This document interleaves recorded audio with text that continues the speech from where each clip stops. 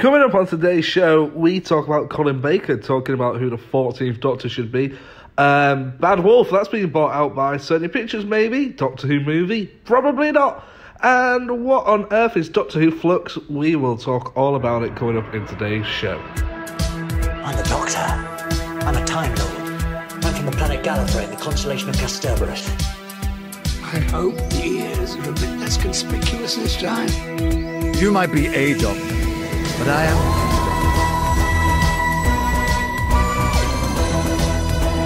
I'm a doctor, but probably not the one you expect. Absolutely fantastic.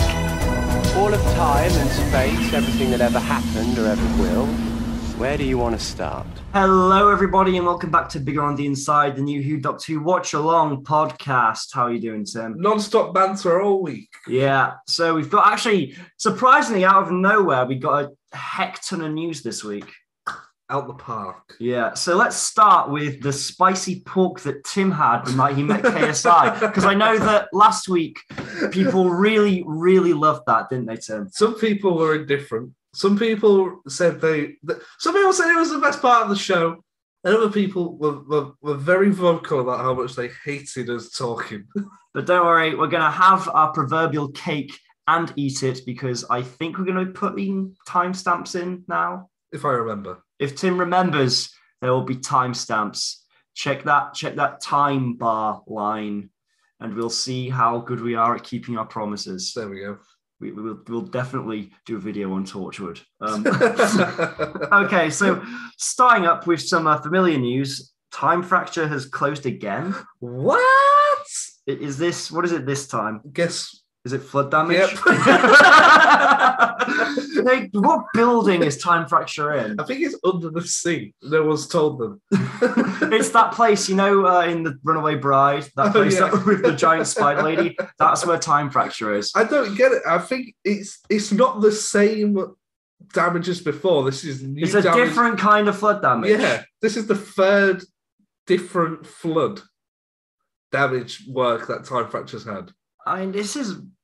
I'm honestly amazed that Time Fracture is still managing to sustain itself throughout all these periods of flood closure due to flood damage. I mean, I mean, it must be a really great, ex, you know, it's um experience if, despite being close to these huge bouts of time, loads of people are still coming in. yeah. I mean, it got to the point where I've been to London twice this year. Both times intending to see time fracture. No, but was a possibility. Hmm. But both times it's been shut because of flood damage. It's bizarre. So you've throughout all the time, London. I mean, time I mean, I've been going to. London for Yeah. other stuff, and I thought, Yeah. well, while I'm there, if I've got some time, I'm going to see Time Fracture. Yeah. But that's not been. So since Time Fracture has been open, there's not been a single period where you've both been in London and Time Fracture No. been open. and I don't go to London very often. the fact that I went to London twice this year is the most I think I've ever been to London in a year ever. yeah. I usually go once every six years. Mm. So uh, yeah, it's Yeah. kind of crazy that it's constantly shut. I mean, I don't really. There's not really much else to say I mean, about it. I feel bad because like the yeah. first time it happened, it was like, oh, that's such a shame. Hmm. But now it's quite, it's kind of a bit funny. I feel like they need to. Um, They need to do. something. It's like, what are they? they- they- someone just leaving a, a window open all the time? What's going on? I'm just wondering. Someone not turning a tap off? I'm wondering what they're doing to fix it because is it is it I'm hoping it's more than temporary solutions. Like if it's a different type of flood damage each time, that is really, really unfortunate. But if it's consistently the same kind of flood damage, then it's like, I don't know, maybe it'd be helpful for them to I mean, I'm not an architect or a business guy or a flood maintenance guy, but I feel like maybe they need to invest in something more substantial to stop this flooding. I don't know. I'm trying to look on uh, on Google to see what it looks I mean, like. is it an underground thing? Is it like an installation underground that you go I'm inside? not sure. Um, I would think I don't know. So I'm guessing it's a kind of walk through immersive theatre. I don't know what it is because I thought it was like like what you said that where you walk through and you meet characters and you do an adventure. But then they were at West End Live and they were like singing songs and Uh, is that I don't think that's in from what I've heard and seen of the advertising of Time Fracture. There is no singing or dancing in Time Fracture.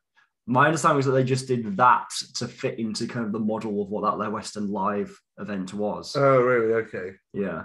Um, I can't see whereabouts it is, but yeah. Cool. Hmm. I mean, I hope I hope that those repairs are fixed. Same. Yeah. This is a lot. It does look really good. Like I look at the pictures, it Yeah. looks fantastic. Yeah, I Oh, mean, look at that. How cool does that look? that does look cool. I'm just worried that you know if they don't fix it soon, that Roger Taylor will leave London as well Roger Taylor. from Queen because Brian May left London because of the flooding. Did he? So is that too much of a deep cut? It was, yeah. Sorry. Well, not really. Yeah, it was a little bit because I've been to London twice, and on the second time I saw Brian May. yeah, but he doesn't, he, doesn't, he doesn't live there anymore. He just came back for Back to the Future the oh, musical. Oh, did he? What Yeah. a hero. Yeah. Saw his wife as well, Anita mm. Dobson. Oh yes. Second time I've seen her. Where did you see her the first time? I don't know. I don't know if I've seen her before. I feel like she was in Hull for something once. Like a Panther or something. Oh. I don't know. Mm, yeah. She's uh she's she is, the one who inspired the song "I Want It All." Oh, really? Yeah, because apparently she said to She. She went to a buffet, and she was like, "Oh, I want it all." And Freddie went, "Aha!" Well, I, I think she actually did say at one point to Brian, "I want it all. I want it now," in just some kind of context of what she wanted in life. And Brian May was like, "Ooh, I like that." Was that after or before she declared her love for fat bottom girls? When did she do that? Well, I thought she said, "For I love fat bottom girls," and they went, "Ha I'm pretty sure Brian was still married to his first wife when he wrote Fat Bottom Are Girls. you saying his first wife had a fat bottom? I I um I don't know enough about Brian May's first wife. What's her name? I don't know. I know his second wife was is Anita Dobson. Yeah, seems like a very nice person. I'm sure she is. Yeah, should we carry on with the news? Yes. There you go. That's your banter for this week. Mm. I hope that gets the same timestamp. Time fracture slash Brian May. Next up, we have Colin Baker chipping in on his thoughts on who the 14th Doctor should be. Thank goodness for Colin Baker. We all needed to know what he thought. I mean, I remember like when Jodie was first cast, he was kind of one of the very first previous was, yeah. Doctors to be really openly supportive. Because he's got Twitter. it. He's on Twitter. Yeah, I don't. Well, was it? Wasn't, it, Heck, I think is his. wasn't it like an interview at like a convention or something where he was asked? There was the whole uh, thing where Peter had his reservations, and he said, "I'm sorry, Peter, you're full of rubbish there." oh yeah, yeah, um, yeah. Where yeah, where I think he said something like, "Oh, sorry, but he's talking absolute rubbish there." So yeah, um, what's what's he said? Um, let me just get it up. Um, Beg your pardon. Oh, zing! the radio I've met, a- I've met a person at university this week whose name is Ryan Johnson. The Rian Johnson of Knives Out and Looper What? and no other films that would cause controversy. Well, we met. I met him. He's on a, he's in a society part of, and I went and I sort of, he sort of introduced himself. And I- in my head, I went, "Oh, cool." And then the person who I'm with, who I won't name, went, "Oh, you're like the Star Wars guy." And I was like, "Oh, you dick." How much do you think he gets that? I mean, to be honest, like Rian Johnson isn't a huge public. he did say he doesn't figure. get it much. I imagine he gets it from the exact same type of person who my friend is. Oh, it was Harrison. what does Colin Baker have to say about the 14th Doctor, Harris, Harry? What does he say?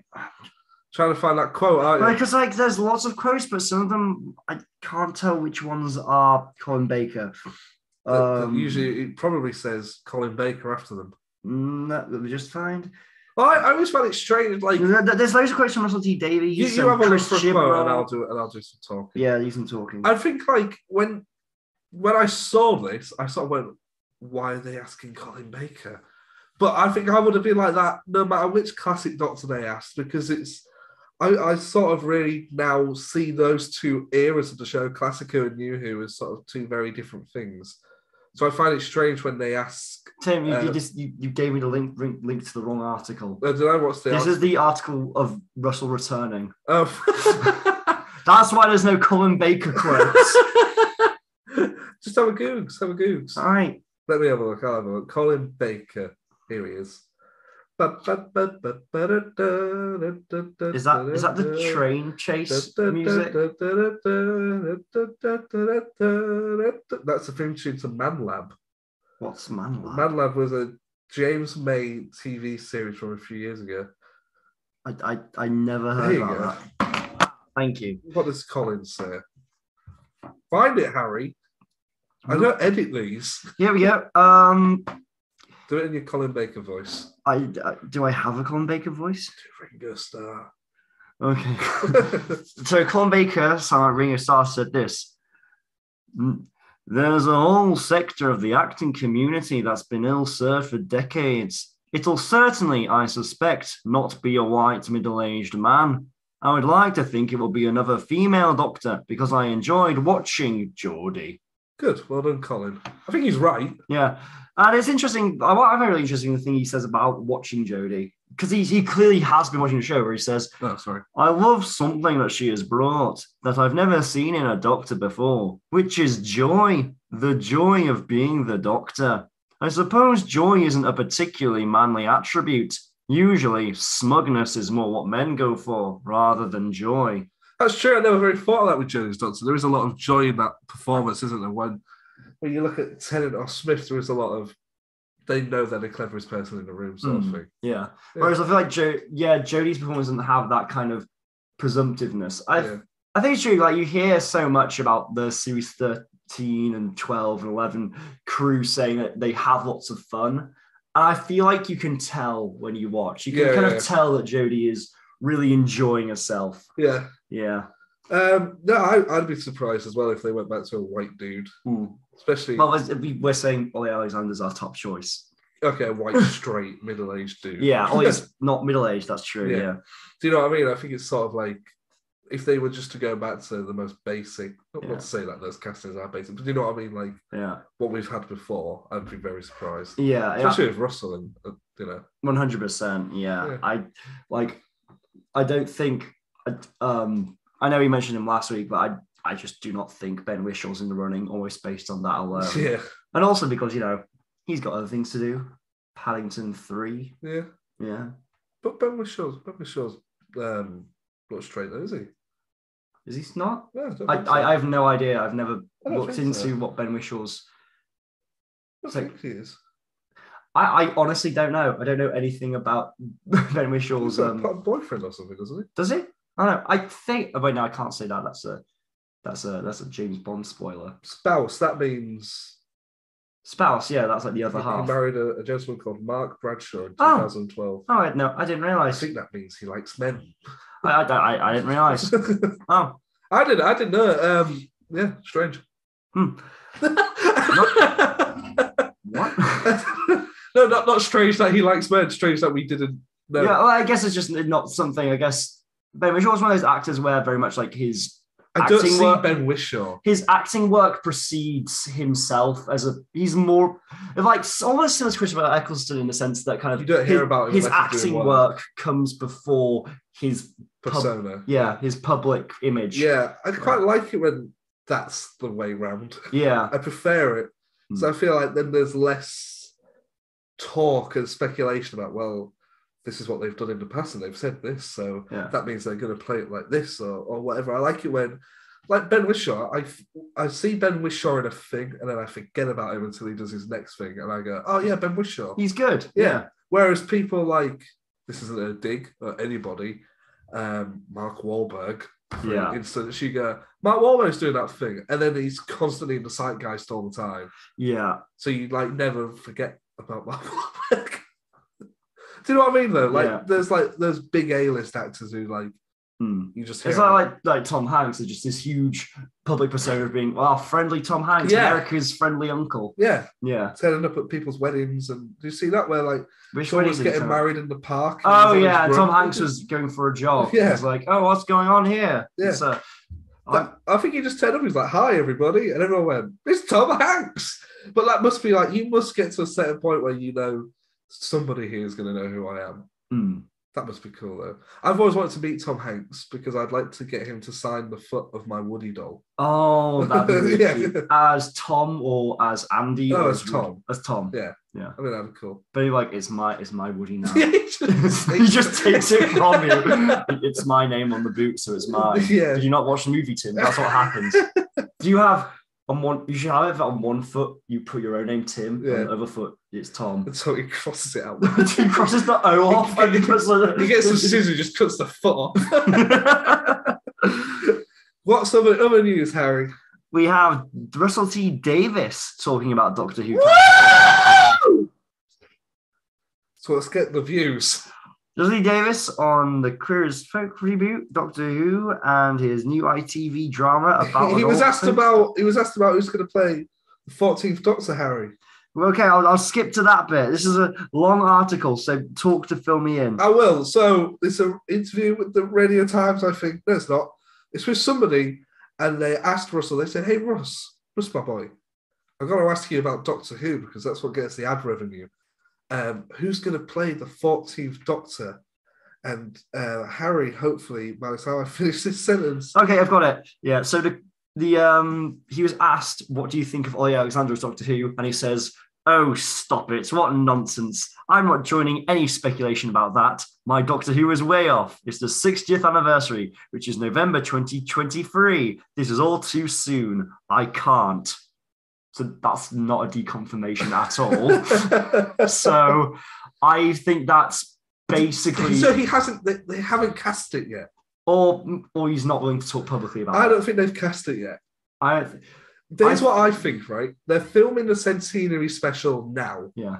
which is Jodie's last episode, which by logic would state she regenerates in that episode. Hmm. But they haven't cast the 14th Doctor yet, which makes me think that production of the centenary special won't wrap for quite a while. Because I think they will, Russell will want to write a few episodes and then cast. And then once he knows who the 14th Doctor is, they will bring Jodie back to film her regeneration scene. I I I think I think that was just very clever press avoidance tactics from Russell. I think he I think in I don't think it's been cast, but I think he's got a short list. I think he I think he knows who he wants. And, And I think person? I think it's Olly. And also he's asked this, what qualities does an actor need to take on that role? Ginger hair, they need to have been a singer. He says they've got to be limitless. In a single word, they've got to be limitless. They've got to be capable of doing anything. They need to be able to both act and have a successful music career. That's not what he says, is it? No, it. But I think Wasn't there a TV series called Limitless? Maybe that's a hint. I, I don't know. Was there? A, there's probably been something called Limitless, 2011 action thriller. It's an hour and 45 minutes. And who was in it? Bradley Cooper. Bradley Cooper is the 14th Doctor. Or Robert De Niro. Robert De Niro. I, I can't imagine that. no, I can't. But, you know, confirmed. There you go. Ooh, it's confirmed. We can put them in the thumbnail. I, I was thinking, though, um, chances are, that if you're going to put money on it, you put money on it being Olly. Hmm. But I, I went back and I looked through a few other of Russell's things because he does have a tendency of casting people who's worked with previously in his new stuff. Yeah. He's a television Christopher Nolan. Yeah. Um, so we've in the past we've spoken. I thought I'd throw a few names at you and you can go, hell yeah, or "Ah, I don't know. Okay. Lydia West. We've discussed this. I think that's equally a possibility. Just as equal a possibility as Olly. I would prefer that over Olly. I feel. Okay. I'm not sure why though. Yeah. It's interesting. I can see both of them working. Yeah, Yeah. but Lydia West um, looks younger than Olly. She looks like a teen. She looks young, Hmm. and so does Olly. But Olly. I feel like Olly's got a sort of almost ageless quality to him, if that makes sense. yeah, like, yeah, yeah. Like some, I feel like Olly's almost similar to Chris in that sense. They've gone got, I don't know. yeah. That makes sense. Yeah, Yeah. I know what you mean. Um, I, I, she's my favourite to play the role. That's not to say I wouldn't be disappointed if anybody else played it. Uh, we spoke about it just a few seconds ago, but Ben Whishaw, a very English scandal, hmm often a fan favourite Yeah. thrown around every single I think year. he'd be very good. I don't know if maybe he's his eyes are on very big. I mean, I, I can't say Project Speed and Doctor Who because I feel like Doctor Who's suddenly gonna skyrocket in its worth when Russell and Bad Wolf and such come on board. Yeah. Um, Um, who else do I have here? Um, let me have a quick look. Uh, hold on. Tim was looking at the thumbnail that he'd made. How would you pronounce um, this lady's name? Manpreet Bambra. Yes. Uh, she worked with Russell on a TV, children's TV series. I don't know if you remember it called Wizards versus Aliens. I don't remember Wizards versus Aliens. It was at the same. It was like when Sarah Jane Smith wrapped up. Um, she that was like the the, the new version of that. Was you know. she like leading that? Yeah, she was like one of the leads, and she's done a number of things since. She's been on like a lot of British TV shows. So she's done like stints in Doctors and Casualty and stuff like that. Okay. But has done a lot of stuff for kids at, at one point. So did like So Awkward, The Dumping Ground, Wizards versus Aliens. But more recently has been in um, other things like a short in twenty, a couple of shorts called Hate, Cha, and Catch and Butcher. So she's got like I'm looking at her IMDb here. She's not a huge credit. There's 20 different things there. But from what I've seen of her and what I've had a quick look online, she seems like a very diverse performer. Yeah, that'd be Uh, interesting as Limitless. Yeah, and that'd be interesting. Like of kind of a relatively unknown. I know Doctor Who never picks the biggest star ever, but normally it's someone you've kind of heard of. Like I remember when Jodie was cast, I was like, "Who's she? Oh, oh, the sad Broadchurch lady." Yeah. Yeah, the woman who's constantly running on the cliffs all the time. was she running on the cliffs? She's always doing a little jogging. I know she did definitely did a lot of jogging in the first episode, like because of the car things, and she ran up to her dead little boy. Yeah. Yeah. What's Free Rein? Free Rein. Yeah. I've not heard of Free Rein. Um, apparently it's a television drama. She was in that as well. oh, cool. Not Jodie, um, the, the other person. Yeah. Name I've instantly forgotten. Okay. Um, anybody else from past Russell stuff? Um, pretty much you can pick anyone from it. it's a sin. Russell Tovey, he's done multiple things with Russell, He auditioned to play the 11th Doctor. Hmm, and he didn't Didn't it. get it. And I don't think I can't see I it can't see weirdly, it. and I don't know why. it's because he looks too much like Russell Tovey. And, And I, I know that sounds daft, but like I was talking to my mum about it, and she said obviously- that there's like because like I said, what about Rowan Atkinson? She said no, because I wouldn't not be able to see Rowan Atkinson. yeah, It's almost like The Rock. yeah, Well, The Rock can play any role he wants, but I'm watching The Rock. yeah, And same with Will Smith, and I feel Russell Tovey has that same problem where he has such an iconic face Hmm. that I can't not see Russell Tovey okay, from the job centre. yeah. but that didn't stop them from recasting him in the Aardman Pirates movie. What's that? Um, he played one of the characters. I think it was um the albino pirate or something like that in the Aardman, the Pirates and Adventure with Scientists. Yeah. But then when they um, took it to the US, not only did they rechange the title to the Pirate. Band of Misfits, Yeah. they also recast some of the English voices, Oh, really? including Russell Tovey. Ah, I think they recast him with Anton Yelchin. yeah. Yeah. He was um, in Star Trek. Yes, they, they recast Russell Tovey with him. Yeah. Um, I, Aardman have a weird thing with voices recently, don't they? Do they? Well, with Chicken Run 2, Oh, yeah, they're- oh yeah, they're not recasting the woman who played Ginger, right? Ginger's not returning. Obviously, who was it? Mel Gibson. Mel, he's definitely not returning. Hmm. Um, and I think there's maybe two others that have been recast as well. so it's basically just going to be an all new Chicken Run cast. Yeah, which I think's a bit strange. Is it? And is it coming? Is it going to be a straight to Netflix? Straight thing? to Netflix thing, yeah. Ah. which I'm I looking feel like- forward to. I'm looking forward to seeing it. Yeah, but I feel like Chicken Run was like their big theatrical debut. It's a bit weird that its return would not also be a theatrical release. Maybe it might be. I feel like they announced the Netflix thing during COVID, Yeah, so there's a good chance that could change. I'd hope so. It's been a while. as long as since. they get Timothy Spall back Hmm. and whoever played the other rat. Yeah, it's been. It's weird they've never not had like. When was the last time there was a big Aardman theatrical release? Was it the first? Shaun the, Shaun- it was the last Shaun the Sheep, I think. Really?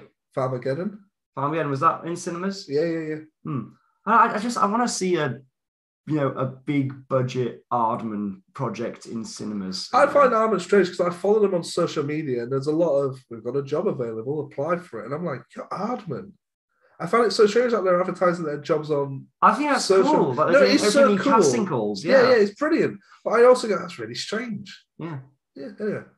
I'd like to work for Aardman. I'd love to work for Aardman, but all the jobs and stuff I can't do. Hmm. It's like, do you want to be an animator? Yep, but I can't.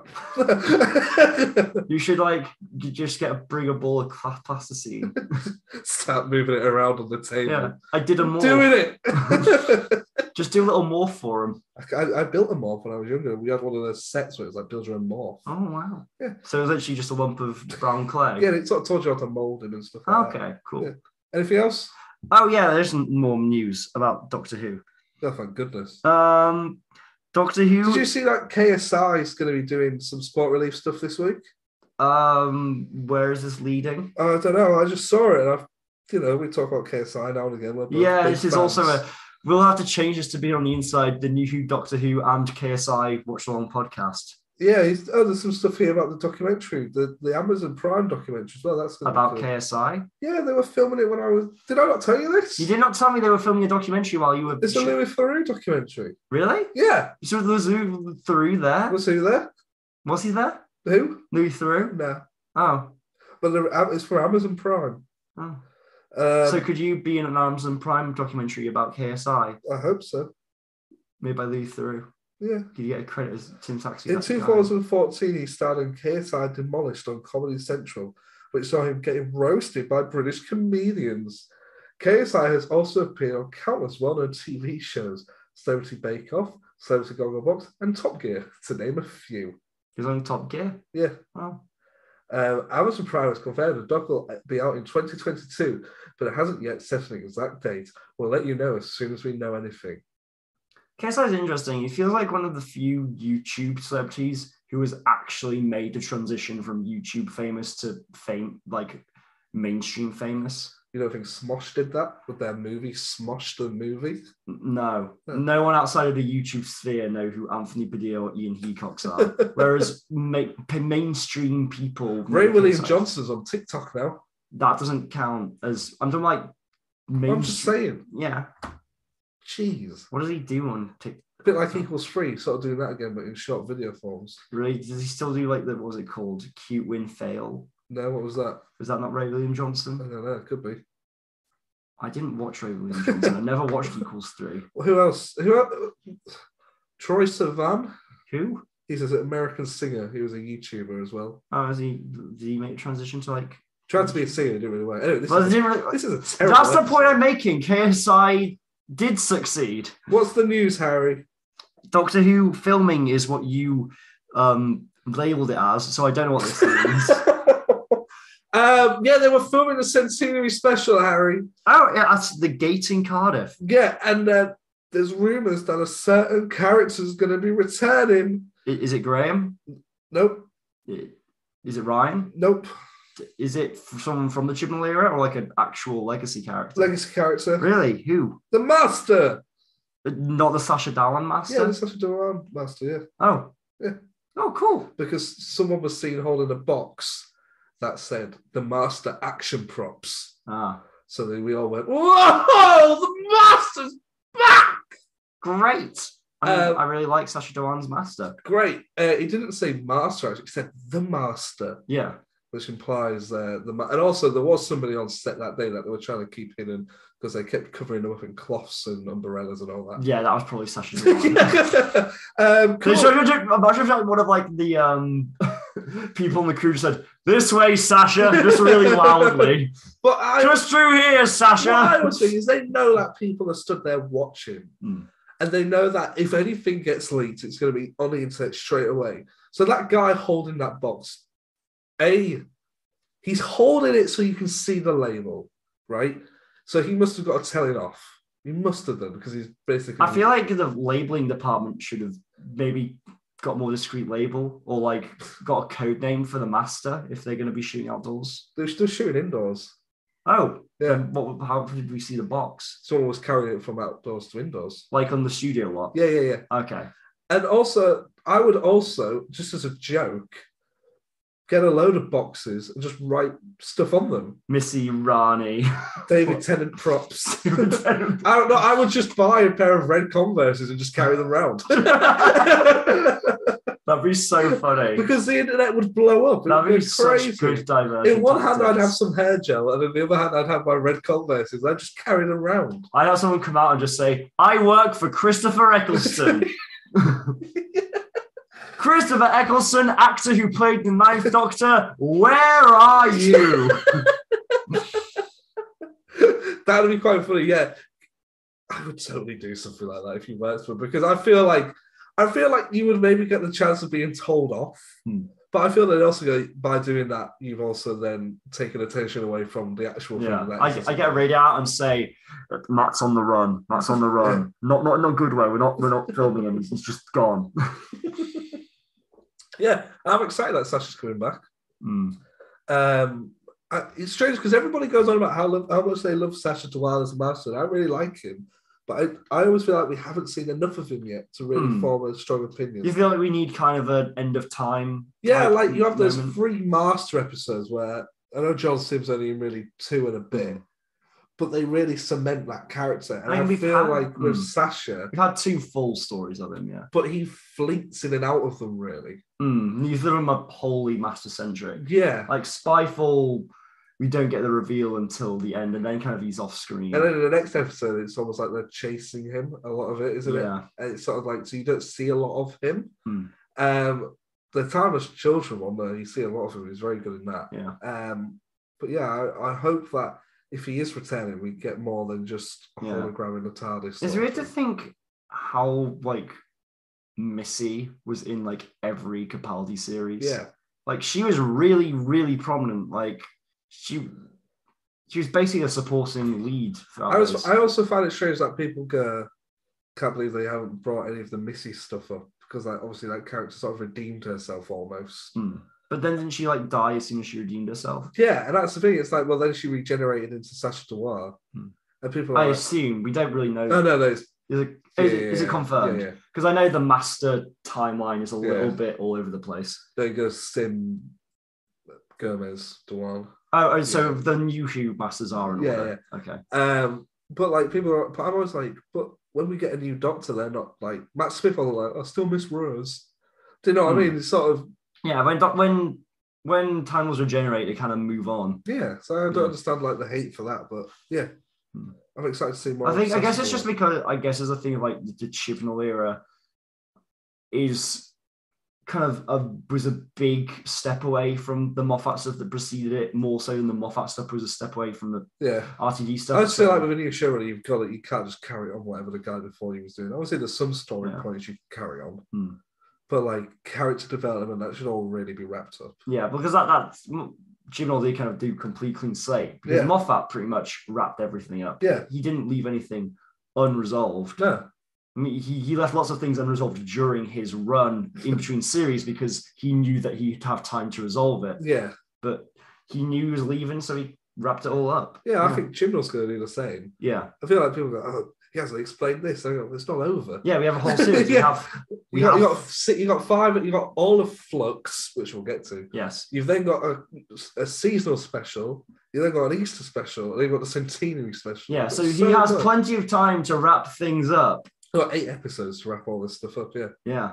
Should we move on? Yes. So this is a very, this could potentially be really big news or potentially be nothing at all, which is about Sony Pictures Oh, yeah. is looking to, Sony Pictures Television is looking to uh, um, purchase uh, the production company Bad Wolf. So we're going to become shareholders in it, aren't we? Yes, and I think they want to increase their shares so they become the, like the primary shareholder. And I know there's a lot of talk about. Obviously, obviously, the so obvious thing to talk about is: does this mean we're going to get a Doctor Who Sony movie? That's No. no, because it said it's Sony Pictures Television. Oh, is it? Yeah. So it's I don't think it will result in that. No, and also so much is owned. Sorry, um, let me rephrase that.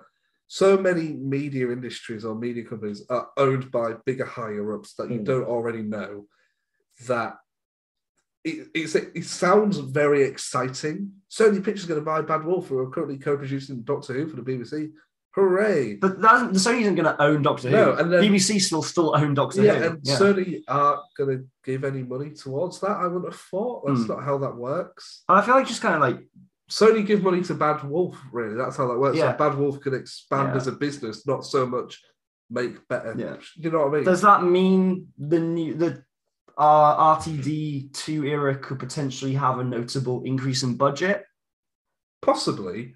I don't imagine it would be anything near like you know HBO budget. Oh no, no, gonna nothing like that at all. But like, um, Sony Pictures is becoming a shareholder with Bad Wolf, who are co-producing Doctor Who. I feel that's too far removed, Yeah, and it's not confirmed. And if it will be, it will be a few years off. I feel. yeah, but but we want to be able to make the title of this video Sony making Doctor Who movie. So let's talk about that.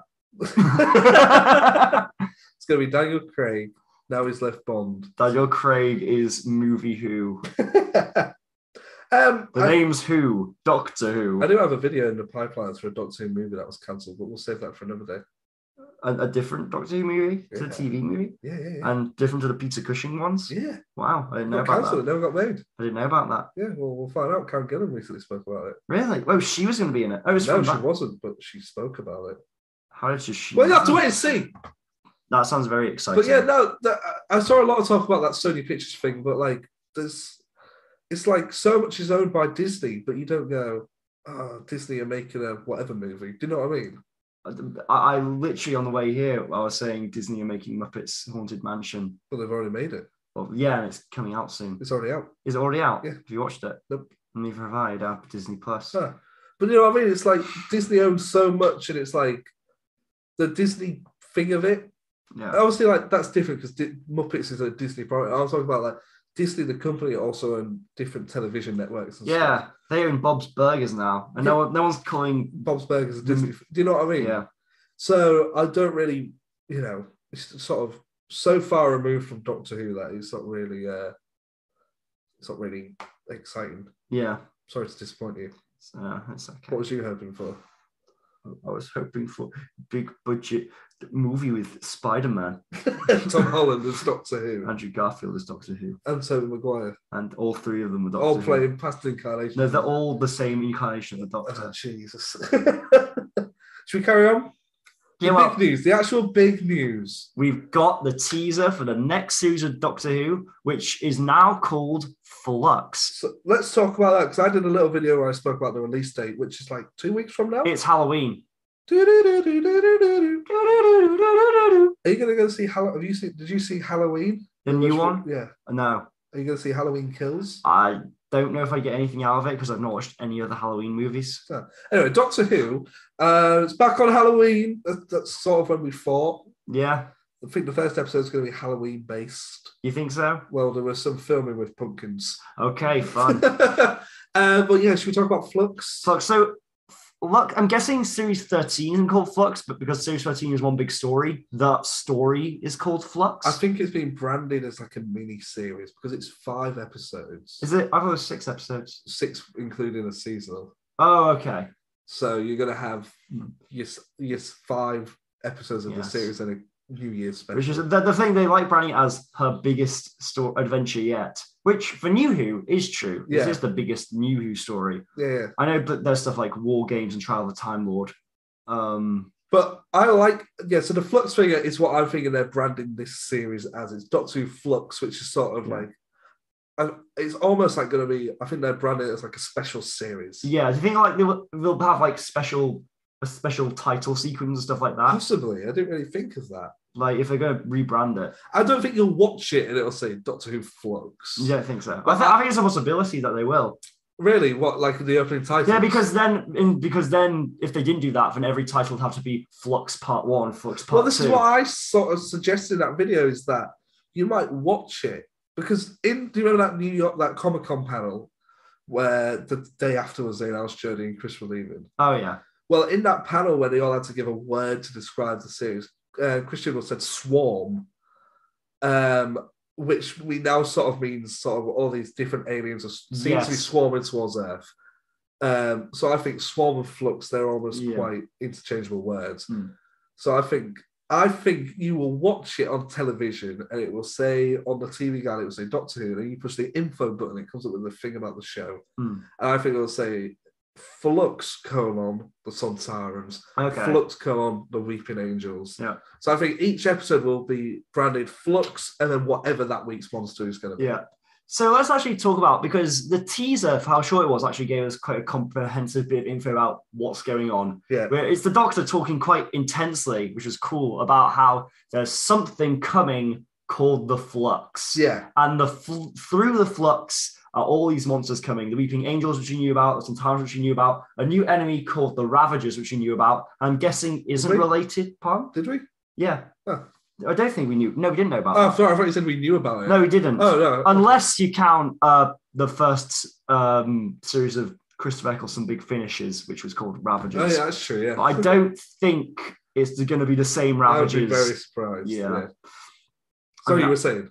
Yeah, but yeah, and basically all those things are coming through something called the flux. I don't know what the flux is. If it's like, if it's an, if that's an enemy, or if it's like a, I don't know sci-fi concept thing, like I a type of black hole, Yeah, I imagine it's something like that. like yeah. a big old pull in the sky that Yeah. things are coming through. I'm excited, man. I like that idea. Hmm. I think it, it works really well with the limitations that they've had as well. Hmm. Like they can only really film in England Hmm. or in a studio. So why not just have it that every instead of the Doctor travels to the aliens, you have a reason for all the aliens to come and invade Earth. Do you think it could potentially be an almost kind of uh, Pertwee era base under siege feel? If like where it's a limited number of locations constantly under attack. Yeah, why not? I mean, Unit are playing a part in this series. We've seen some set photos of where they've been filming at a new Unit HQ. Hmm. Um, so yeah, why not? And I, I think I'd quite like that. I know I've watched some Pertwee stuff and it can get a bit boring, but the show's got a bigger budget than it did back then, and you know, TV's so much better. Mm. so you could. Also, do- I feel like the, the fact it's all being branded as one big story kind of gives some license to really focus and flesh out a, Yeah. limit, a small number of locations. I'll be interested there to see. So we know the Sontarans are back. We know the Weeping Angels are back. I, I wonder what, if any other classic monsters are going to slip through there, slip through into the Flux. I, I also wonder if the the whole Flux thing is going to go on into the 2022 specials. Hmm. Um, I would have thought so because they Yeah, seem to like- be commissioned after this series Yeah, and I feel like this series has been developed kind of. separately. Yes, that's what Yeah. it feels like. Um, so no, I'm really, really excited about this. I think there's some. It's a, it's a really interesting concept. It's something it hasn't done before. It's better than it seems to be more interesting than just Monster of the Week, Totally. which is what it has been recently. Although, Uh, wouldn't this be a different monster through the flux every week? it would be, but I feel the fact that it's going to be a continuing, a continuing story Hmm. where it's going to revolve around the flux and why these monsters seem to be coming in. Yeah. rather than just like I really like the Flash, but every week that was like remember the event from episode one that caused Barry to get his superpowers? Well, it gave a lot of bad guys powers as well, and we'll take those down every week. Whereas this seems to be there's the mothership of the Flux. We've got to find out what that is. So there's that consistent. Yeah, that seems to be the in goal. yeah, yeah. So I'm really looking forward to this. I know um I watched I watched Strictly anyway, but I made sure I was in when Yeah. it started and when it ended, so I could catch that Doctor Who. Yeah, and And they our are. first look at John Bishop as well. Yes, he says something, doesn't he? He says, "What does he say? Oh, I can't do it, Doctor."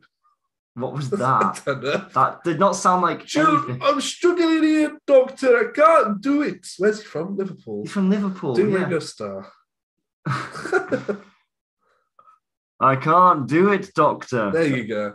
And um, Yaz is there as well, and it's all very good. I, I like that marketing thing now of where Yeah. we're not just going to drop a trailer, we're going to do little teasers. Yeah. And I imagine that this Saturday they're going to drop Yeah. something else. I've been seeing those teasers, that same Flux teaser, pretty consistently on TV. Like even when I'm not yes. looking for it, it's been popping up between shows. Yeah. They're really pushing it. They want people to know that Doctor Who is coming back. It's interesting because it came on, didn't it? And it was sort of like it was the other week, Hmm, last Sunday, where there was just like a couple of glitches and she's going, Can you hear me? hmm.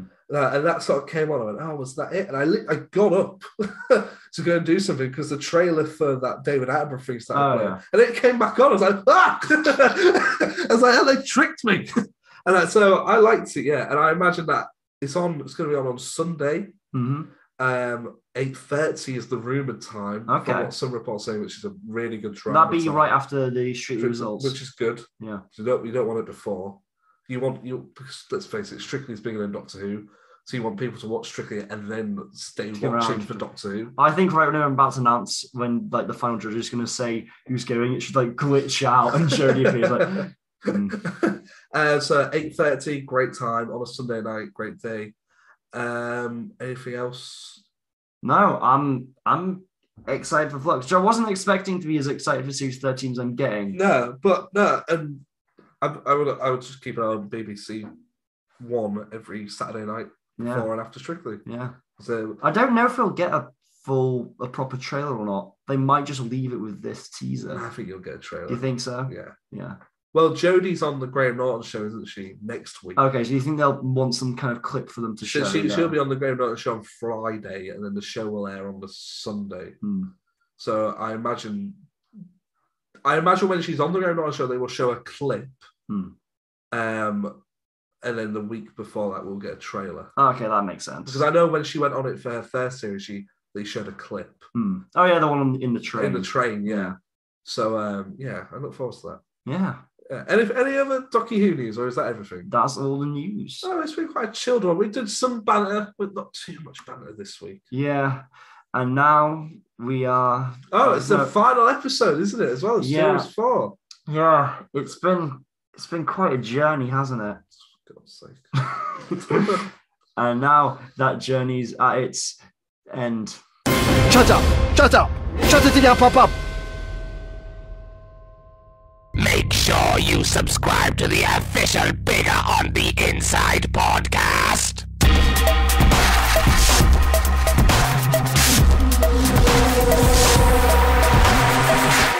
What's the point in having you all?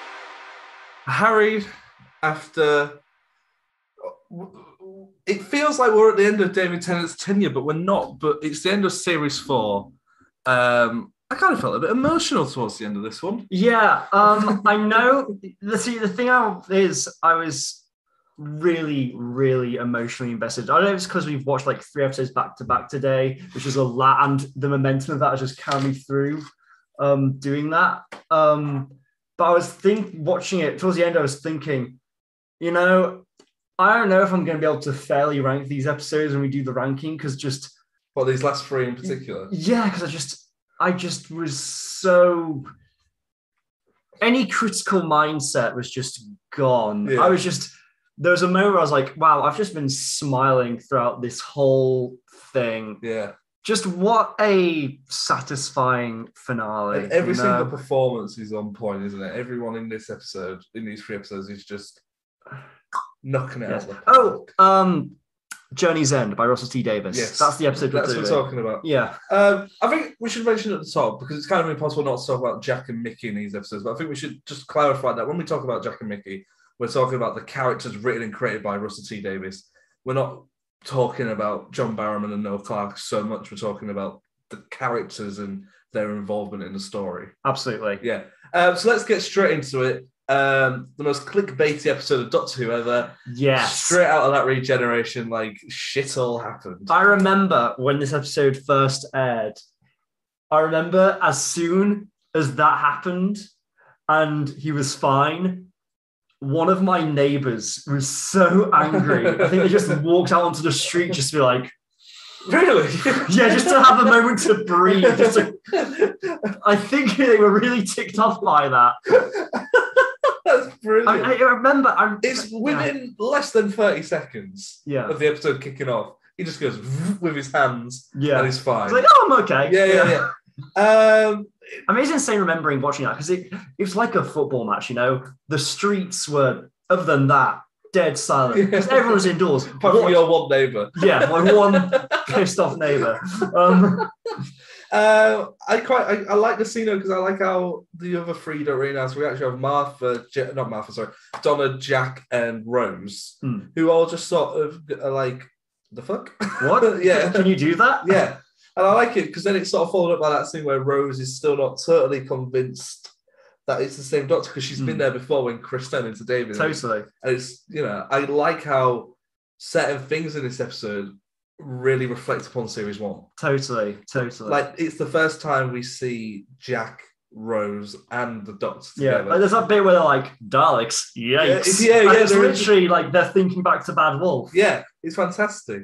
Uh, but I was, Fantastic. I was surprised we don't, there's no Jack and Rose thing. Yeah, you mentioned that. There's no kind of reunion. I guess just in the moment. Were when they meet, they meet when the doctor's about when they Yeah. think he's about to die. Yeah. So that just kind of gets brushed over. Yeah. Uh, yeah, I maybe would like to, but then I suppose there's only so much hugging and kissing Yeah. you can So really- many people have to meet and introduce.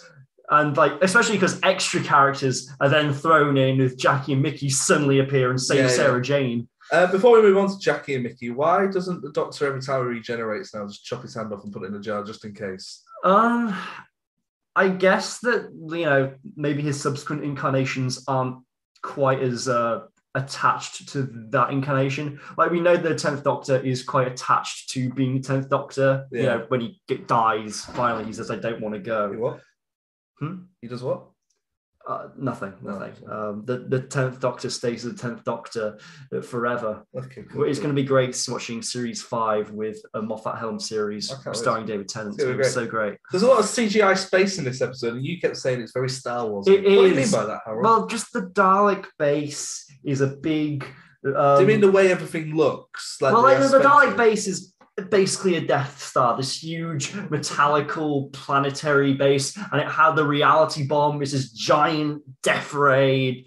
It's very Star Can Wars. you say detonate the reality bomb like Ringo Starr? Thomas, you have to detonate the reality bomb. um, uh, yeah, sorry. Yeah, I think the way this episode looks is just great. I wrote down that the sets are fantastic. It's been a while since we've seen some proper yeah. exciting. I know there's been a lot of period stuff, and with Turn Left was all sort of set in London. Um, but these last two episodes have just had some really great sort of the production value is just Yeah. It's great. You can tell that they're just putting all of the money into this. yeah. German Daleks, that, oh, a bit weird, isn't it? What's that whole thing about? What do you mean? There's a? German woman. Yeah, we were. So I, I mean, she, that actor, she was putting a role into that. um, it's a strange thing where there's so much in this episode that it's strange that Russell wanted to give time to establishing and developing this new character. I mean, it's very cool. I mean, I don't know what that actor is, what else she's done. Is she, maybe she's particularly accomplished and I just didn't recognize her. And that was like a cool cameo. Yeah, perhaps. Um, but yeah, that whole sort of thing with the the um, Oscar, Oscar ha- Hagen key, Yes. I found it it was good. But then I was slightly confused by the warp star thing that was introduced as well. Did that, what did, I- what I- sounds like a little compact explosion? That Sarah it? Jane Smith had. I'm not sure if that if we if maybe if we watch Classic Who, that was that is something that appears. Maybe, maybe it's from K-9 and Company. Maybe. Oh, we'll get. Or that. maybe it's in, or maybe it was introduced in an episode of Sarah Jane Adventures. Perhaps, yeah. Um, yeah, I've got. I just literally got a note here that says the Doctor, Jack, and Rose back together since series one. That's really nice. Yeah, we we've said that. I know. I was just. It's. It, I, was, I was mainly looking at it and I was thinking, it isn't. It isn't because it's not Chris. Yeah, But you still. you feel it's the same energy. You can feel the energy. It's kind of Yeah. That's one thing that kind of I really like about Doctor Who. That kind of you can feel the subsequent actors are able to kind of carry the history of the previous incarnations in the performance, and so stuff like that still resonates. Yeah. Yeah, Um, Mickey and Jackie, they show up. That's um, they're they're always. It's, I remember we pray, we really loved those characters in series two, and one. series one and two. Yeah, you're all right because we always sort of loved Rose's home life and sort of checking back in on all these people she just forgotten about. Mm. And I, I quite like the character development of some of them as well. Like Mickey, last time we saw him, he was sort of more confident, and then this time he's just walking around with a massive gun. Hmm. There's a point where he even confronts Davros Yeah, where he just stands in front of him and goes, "You're going nowhere." Mm. And then when you then you look back at when we first met Mickey, and he's just like that little coward kid who, when Yeah. the TARDIS takes off, he's hiding behind wheelie Totally. and stuff like that. It's mental. and Jackie is there. Jackie is also there, and I think we picked up very quickly that she doesn't, apart from that scene where she escapes the Dalek interrogation Yeah. thing, she doesn't really do that much. No, although I, And then it does pay off. Yeah, I, towards the end. I like her presence. I really like her presence. I mean, I'm a big fan. I'm just a big fan of the character. Yeah. So even with her not doing anything, it kind of adds to everything. Yeah, because as much as you think, oh, we're Rose, we're Donna, we're Jack, we're Mickey, we're these side characters, you're not. Yeah. You're, you're Jackie. Yeah. um, there's a scene in it where where the, where the TARDIS falls through the Dalek base and it goes into the core of the Dalek ship, Hmm. and you see Jack and Rose get frustrated with the fact that Donna's in there, Hmm. and I quite like that because it sort of shows the loyalty to the Doctor. That even though they've never met Donna properly, Yeah. they know that she must be worth something because she's been traveling with the Yeah. Doctor. And she's important to him. Yeah. Yeah. Um, let's talk. Should we talk about the Meta Crisis Doctor? Because it's about time he appears. Yeah. He appears. Um, so Donna gets stuck in the TARDIS, and the hand cracks open, and from there, the Meta Crisis Doctor appears. Yeah. I mean, yeah, that's whack. um, I mean, it, it, it's it's cool. It's a cool concept, and they have fun with it as it goes on. It's just, I'm surp- I'm surprised that they weren't tempted to put in the opening kind of title David Tennant and all names, and then with David, David Tennant Tennant, at the end. yeah. Um, the, I said to you, it's weird seeing him in a t-shirt because there is a scene where he's wearing his blue suit trousers and a t-shirt Hmm. as he puts on his blue suit jacket, and it was it looked very weird for a second. Yeah, it's strange seeing the doctor. I mean, the doctor doesn't really wear casual clothes ever, No. does he? Except for well, Eccleston. Yeah, that's true. Hmm. I really love that. I think we mentioned it in series two. Is that they very quickly learn that David Tennant is a very funny performer. Hmm. You know, he's doing that whole beating out of Samba stuff in series two, Yeah. and over the course of the series, especially with this one with Catherine, they really bounce off each other. Yeah. But the Meta Crisis Doctor and Yeah. Donna, they're the way they bounce because- off each other because they're the same. Yeah, person. they are effectively the same person. The Meta Crisis Doctor. they're both Elton Donna and they're both the Doctor, and they both play off that Yeah. really, really well. It's just it's just so fun to watch them. Like the kind of that was some of the first scenes where I was like, big dumb Yeah, grin. yeah, I, I like it when the Doctor says, "Oh, that's very wizard." Mm, Something that Donna has sort of echoed through the whole series. totally. Um, I literally my next notice is I love how much Russell has tied everything together. Yeah, literally. it's incredible. Three different shows, four seasons of storylines, intentional or not, is just perfectly done. Yeah, and it doesn't feel bloated. Like there's a lot going on, but you keep track of it all, and it all kind of builds very satisfyingly. Yeah. yeah, Um, Martha's in this episode as well. yeah, She's sort of having her own little side story. yeah. With the on. Osterhagen key. Yeah. What do you think to her? Sort of. She doesn't really get much play with the main Yeah, I mean, I feel like you can only have so many people on a Dalek spaceship. Yeah. can you? Yeah. Yeah, and it, it- adds kind of weight because kind of what she's doing in addition to uh, the uh, warp star um, builds to that kind of very climactic, dramatic point with Davros and the Doctor, which is kind of their kind of big conflict. Yeah, where Davros is kind of like, even if you stop us, me, that's cool because I've shown you, Doctor, that you're not so great. I have brought you down a peg. That's true. Um, What are your thoughts on that kind of thesis from Davros that the Doctor turns people into weapons for him? I mean, we've spoken about it, especially with Eccleston. Hmm. Was if he just didn't turn up, most of that shit wouldn't have happened. Hmm. Especially in that first series, I think they sort of work on that. In the Yeah, I feel like this tenth Doctor is much more kind of explicitly heroic. Yeah, um, but I um, I don't know because I think sometimes their characters' death is sometimes their own naivety. Hmm. They just want to help, and by doing that, they often put themselves in a place where they sacrifice themselves. Yeah. And as we learned from Turn Left, Hmm. if not, that usually means the Doctor would die. Yeah, there were a lot of instances within this where I thought of turn left. Yeah, It is kind of thing like, you know, turn left demonstrated very well how much the doctor needs these people and these people need the doctor. And, you know, none of these guys would be here if neither existed. yeah.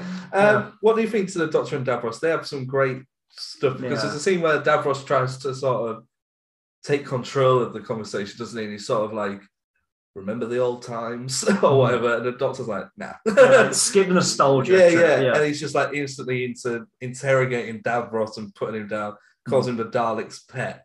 And I love that scene because Davros in his chair just goes very quickly turns away and just goes on to annoying him by pestering Rose. I love like the awkwardness when Davros is like, "There's been an arrangement." yeah. um, yeah, let's go back to some. Uh, uh, stick with Davros for a second. yeah, because Davros talks a lot. he does. there is a scene where my note here says Davros is an effing nutter.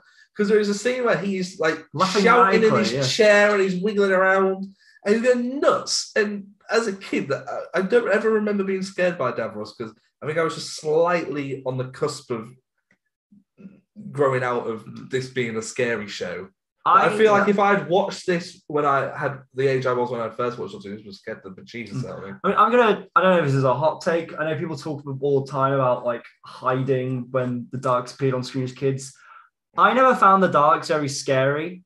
I think they're, for me, they're kind of more kind of very fun adversaries. And it's kind of a yes, when the Daleks are here, when Davros is here, shit's got real. I'm not scared of them. It's always a more exciting thing. Yeah. Yeah, and maybe it's because like, I kind of have that almost Star Wars esque association with them that they're these big spaceships and flying and lasers and stuff.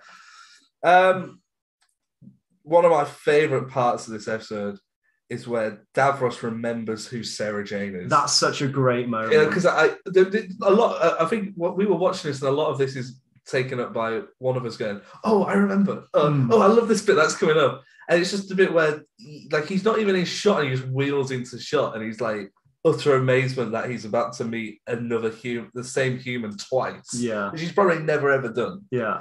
And it's just like the way that Sarah Jane, the, the reaction from Sarah Jane in the last episode when she hears the Daleks exterminate is just utter fear. Mm. But then when she actually sees Davros and she knows the doctor's there, and she's like, I think she says, I've learned how to fight. Yeah, that's exactly what she said. It's so cool. And I mean, yeah, it's great from both of them. And it's interesting because that scene, in terms of the narrative, you don't actually need it. Like, that is kind of a pure fan service moment. Yeah. But it's the best kind of fan service because it's not just iconography or like, hey, remember this thing? Yeah. Like, it's a character moment. A it's a really service. cool character moment. There is some fan service coming up with some iconography that I think we both very much enjoyed, but we'll, we'll get to it. Okay. Um, sticking with Sarah, the Sonic lipstick, that makes a little appearance. Yes, yes, it does. I like that because it's almost like, um, yeah, she's still got it. Sort Yeah.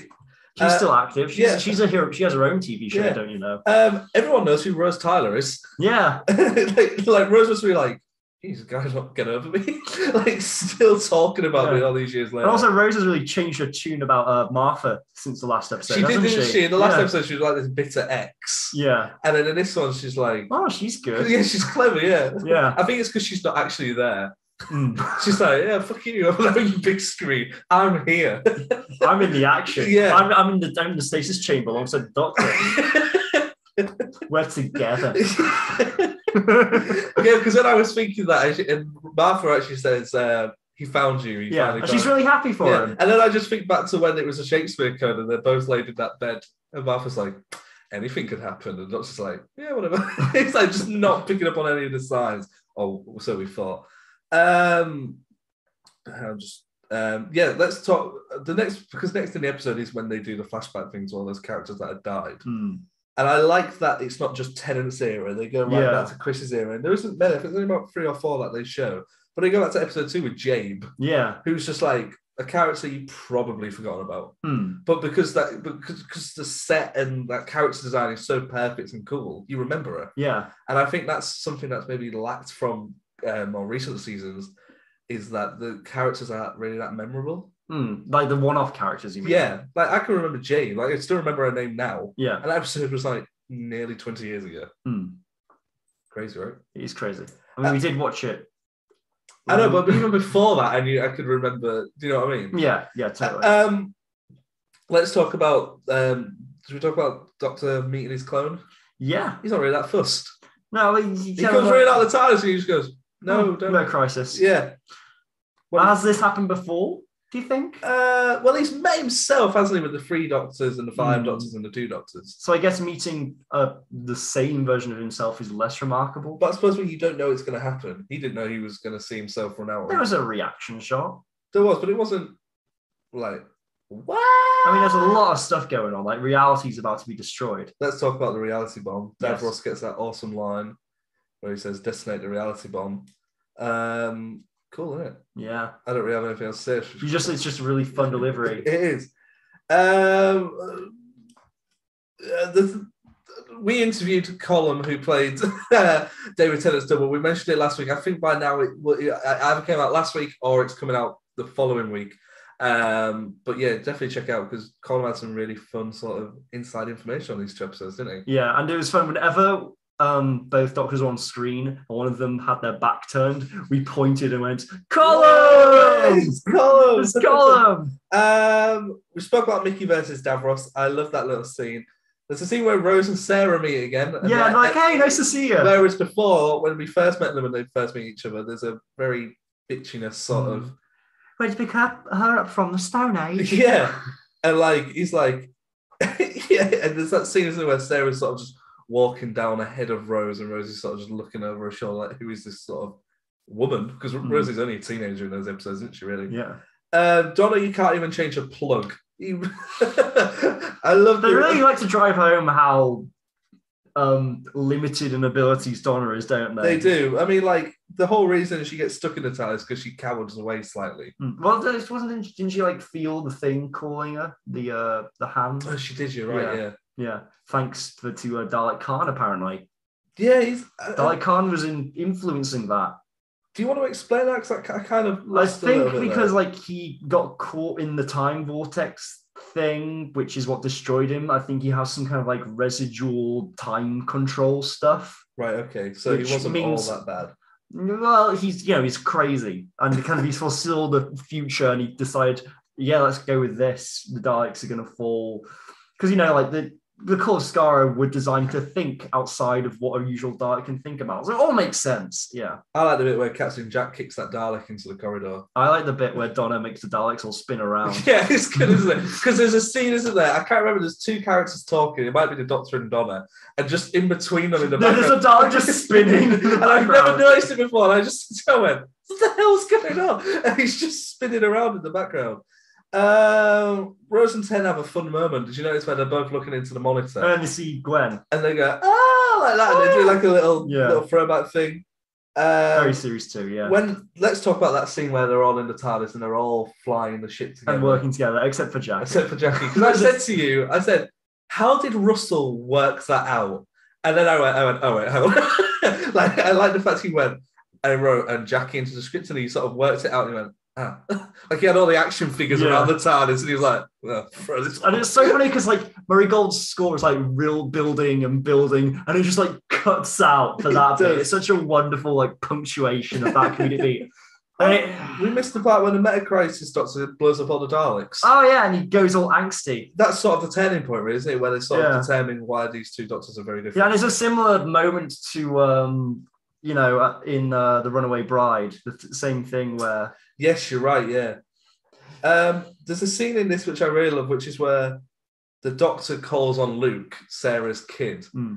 and you, it cuts to Sarah Jane, and she's just so excited to see the doctor and her son interacting. And I think it's just such a sweet moment because she like she I think she like screams or she says yes out loud or something. I think it's just a really that moment is pure euphoria. Like you're just, I'm just beaming. Like, Yeah. and even like some things like you said, there's a there's a shot, and I noticed it where Freema looks into the She looks camera. right at the There's this camera, doesn't it? Yeah. but it's like it, it kind of just works. Yeah. It's just kind of acknowledge like, oh, is this great? Yeah. is this fun? should we talk about the moment of fan service, which I think we both really liked where we both cheered out loud. Yes. which is a moment again another moment we completely forgot something just like two seconds before it happened which is the return of k9 who we haven't seen on- in dot 2 anyway since school reunion and just the way he comes out of the little cupboard and he save, basically saves the day Yeah.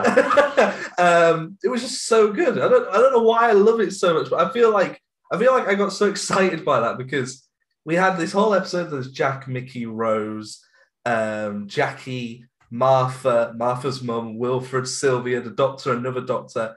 And then you're like, this couldn't get any better. Everybody's here. There you go. Oh, and of course, K9's here as well. Yeah, it's just pure. Russell's just like, I have all these characters that all these people love. Just let them all yeah, in. yeah. Let them all in. Fantastic.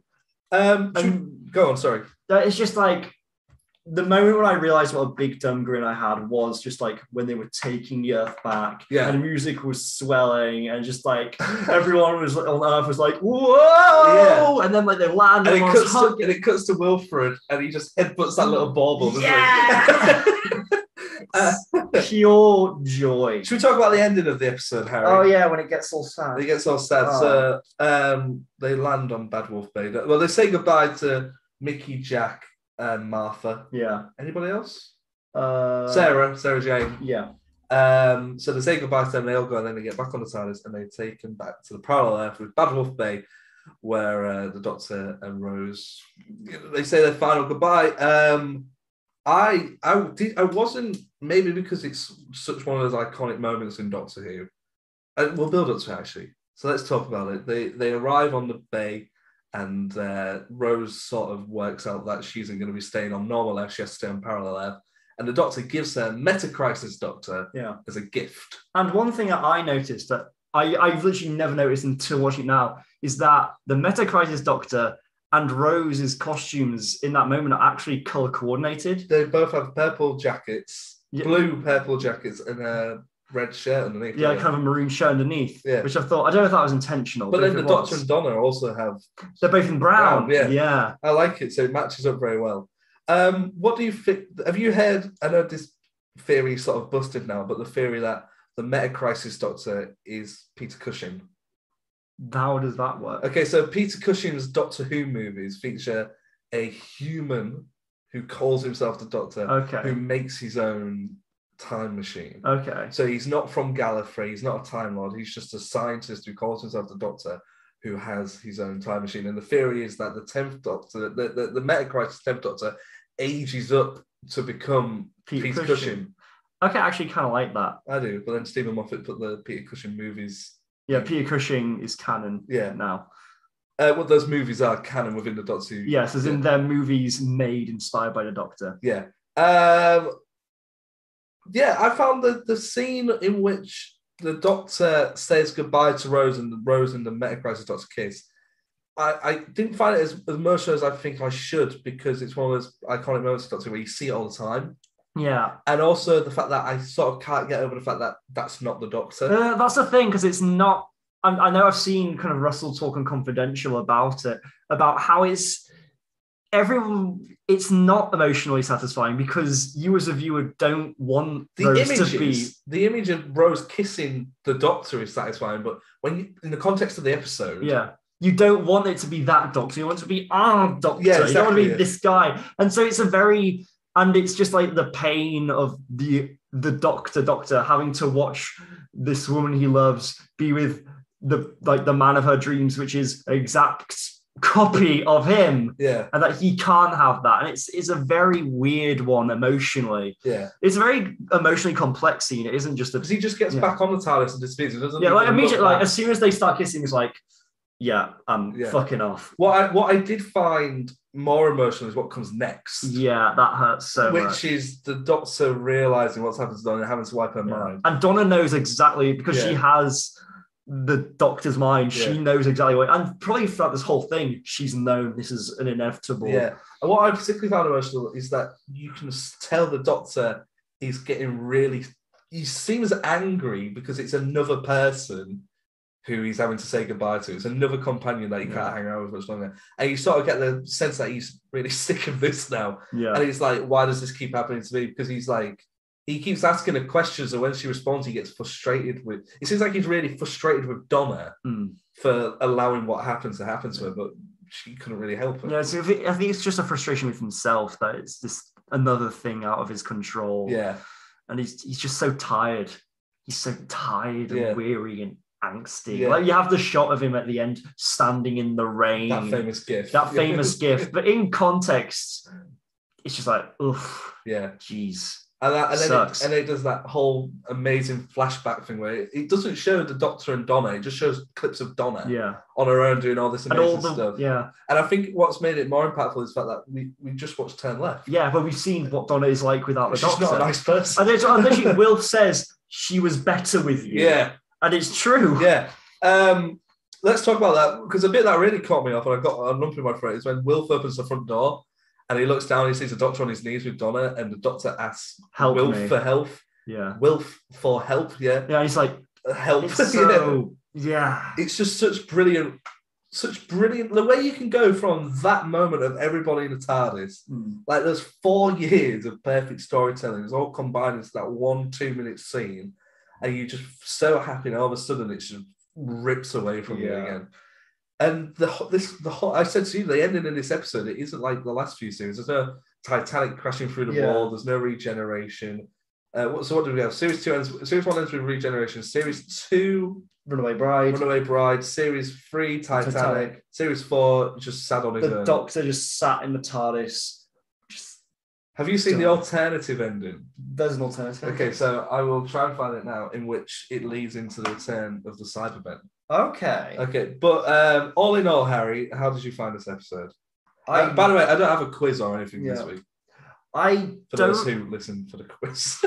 No one listens for the quiz. um, I don't know if it's just kind of an emotional bias because I feel like if I were to like really try and be like critical and compare this to um, Bad Wolf, and The Parting of the Ways, those that those stories will probably come out on top. But just here in the moment, I don't know. This might be my favorite series finale. I'm not sure. Perhaps, yeah, I think it might be mine. Uh, I'm just going to show Harry a clip. I will talk everybody through what's happening. I'm not going to play with any audio, but it's the Doctor in his TARDIS. He's wearing his suit, which is different to what we saw. Oh yeah, He's walking around the console. It's all sad, slow. He's sat on the chair, and he, yeah, you know, everything seems sad. Uh, he sort of he catches a glimpse of the monitor, and he goes over, takes a look. Uh, we get a quick look at the monitor. There's some stuff spinning around all Gallifreyan text. He leans into the camera, says, "What?" And then That's two Cybermen appear from behind. I'm so glad they didn't do that. I'm glad I'm well. so glad, It takes away from how he's feeling because he's suddenly Yeah. like, oh, what another thing. Yeah. Whereas this is in the last four seasons, this is the most Yeah. impactful thing that we've had so Like the far. doctor's in a very different place now. He's Yeah. been beaten down by all these people that he's changed and lost, Yeah. and he's just kind of back to square one. It's like at the end of this all, and these four series where he followed him and he's met so many people and done so many things. He's kind of still in the same place, you know. He's still on his own. Gallifrey's still gone. I because what I quite like, and you know, I have to wrap this up shortly, but he says to Rose that the Meta Crisis Doctor is him when they first met, Hmm. so she can work to make him better. But at the same time, the actual Doctor is back exactly where he was almost four seasons ago. Yeah, He's on his own and he's upset and he's pissed off. yeah, He's And- lost everything again. yeah. And it's that. That's the Everybody Oh. goes off with their family. Sarah goes off with her son. Jack, Mickey, and Rose. Jack, Mickey, and Martha they all go off to their own thing. Rose is happy with her family.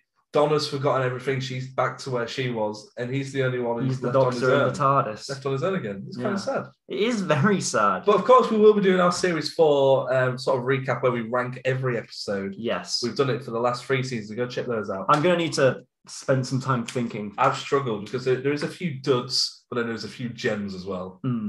Um, so it's going to be interesting to sort of see how they all fall. I think they're going to be slightly different lists. But um, no recommendation, no quiz this week. All I will recommend is maybe if this is your first episode for some reason, go back and listen from the start because we will be back shortly with our series four ranking. Um, we've got all the specials to come. We've got an interview coming out, and we've also got something else. Do we? That sounds like everything. Series four ranking, did I mention that? Yeah. Yeah. Um, And yeah, and we'll be soon wrapping up the first Russell T Davies era. Do you know that was the most exciting thing about watching this? Is I'm watching it and I'm loving it. Yeah. knowing that So very things, like, shortly I get to the, experience the, it all again. the score, the writing is like, we're getting more of this. You know, like your favorite film or your favorite album, you always go, "I wish I could listen to this again for the first time." That's what we're going to experience. Except it's probably going to be even better because Russell's an even better writer. Oh, God. I need to hold myself back. Oh. Coolio. Well, thank you very much for listening to this far, everybody. If you have listened for the whole series, thank you very much. Um, I saw some comments, one of our recent videos from people saying they really enjoy the podcast. So we really appreciate it. Do make sure you like, comment, subscribe, follow all our socials because we ask questions on there and stuff. And sometimes, if we remember, we will put them in the podcast. So um, I'll say goodbye. Bye, everybody. Harry, do you want to say goodbye? Bye-bye. Spite my Make sure you subscribe to the official Bigger on the Inside